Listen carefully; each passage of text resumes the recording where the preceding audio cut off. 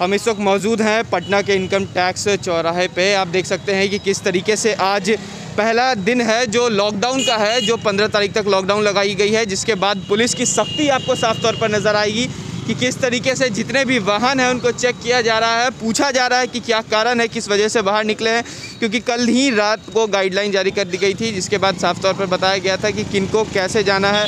और किनको जाने दिया जाएगा जो कि बैंक से कर्मी है, बैंक कर्मी है, रेल कर्मी है, स्वास्थ्य कर्मी है, वैसे लोगों को जाने दिया जाएगा, बाकी लोगों को जाने नहीं दिया जाएगा।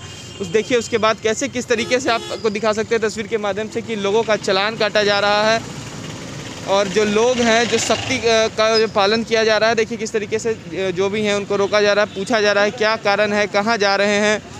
और किस कारणवश बाहर निकले? क्योंकि जो कोरोना का संक्रमण है, वो काफ़ी तेज़ी से फैल रहा है। बिहार में आपकी बात करें कि जो मौतों के आंकड़े हैं, वो काफ़ी ज़्यादा बढ़ रहे हैं। सौ से ज़्यादा लोगों की बीते दिन मौत हो गई। वही चौदह हज़ार से ज़्यादा लोग संक्रमित हो गए। ऐसे में बिहार सरकार ने लॉकडाउन लगाया है और लॉकडाउन ही नहीं, इतना ही नहीं हाईकोर्ट के आदेश के बाद इसका सख्ती से पालन किया जा रहा है। देख रहे हैं इस तरफ़ ट्रैफ़िक डीएसपी साहब भी आए हुए हैं जो इस चीज़, हर चीज़ों की मॉनिटरिंग कर रहे हैं, जिसके बाद यहाँ थाना के सारे लोग मौजूद हैं और साफ़ तौर पर कोरोना का जो संक्रमण है बिहार में फैल रहा है, उसके बाद इस गाइडलाइन को जारी किया गया है। और सा, सारे जो दुकान है उन्हें बंद रखा जाएगा। हालाँकि जो एसेंशियल सर्विस है उसके अलावा किसी को जाने की अनुमति नहीं दी गई है।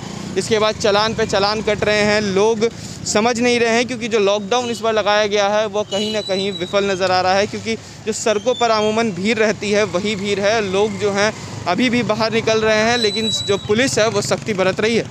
कैमरा पर्सन अमित के साथ मैं उत्कर्ष डी भारत पटना। पिछले साल की बीमारी को देखते हुए आप लोग से निवेदन किया जाता है सभी जनता जनार्दन से अनुरोध किया जाता है कि आप लोग बिना काम से न निकले बीमारी को देखते हुए है। को बचाना बहुत ज़रूरी है। सरकार का आदेश आया है लॉकडाउन लागू करने का पालन करा रहे हैं। लेकिन ये एक बहुत इम्पोर्टेंट स्टेप है जो 10 दिन तक हम लोग को सख्ती से खुद पे लागू करना है। बहुत सारे लोग इसको हम लोगों को करने में सहयोग कर रहे हैं, लेकिन वो जो पाँच दस परसेंट लोग हैं जो इसमें आनाकानी कर रहे हैं, उसके साथ हम लोग हर संभव पढ़ाई से पेश आ रहे हैं और ज़रूरत पड़ेगी तो उन लोगों पर एफ़ भी किया जाएगा ऐसे लोगों पर। ग्यारह बजे के बाद सभी तरह की दुकानें बंद हैं। जो लोग चोरी छुपे वैसे दुकानों को खोलेंगे उनको सील करके भी कार्रवाई की जाएगी। हम लोगों ने पचास से ऊपर जगहों पर डिप्लॉयमेंट किया है। सभी थाना अध्यक्ष D S P C D S P सभी रोड पर इसके अलावा माइकिंग की भी हम लोग व्यवस्था की है।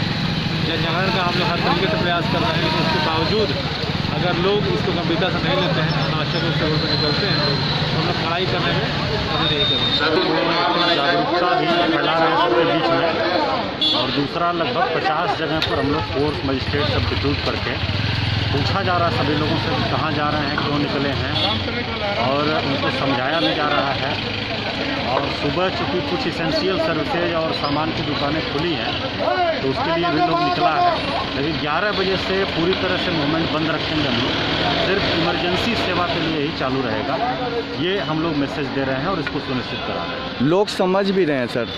हाँ नहीं बहुत अधिकांश लोग हम लोग देख रहे हैं कि फॉलो कर रहे हैं। कुछ लोग अनावश्यक मिल रहे हैं उनके विरुद्ध कार्रवाई की जा रही है।